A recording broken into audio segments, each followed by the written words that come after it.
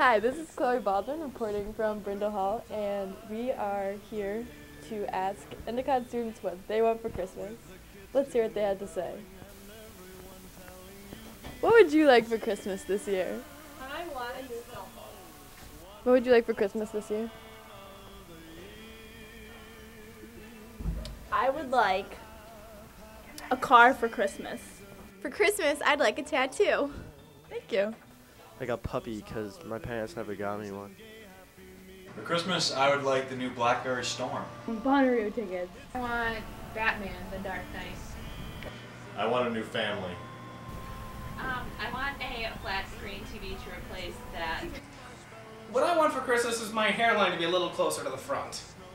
For Christmas, I want to be home in my comfy bed. Skis, that's what I'd like. Say it again. Say it again? Yeah. I'd like new skis. I don't know. I want color in my stocking to show that I'm badass. On my two front teeth. To be happy again. We would like to collaborate our gift to cherish peace and love.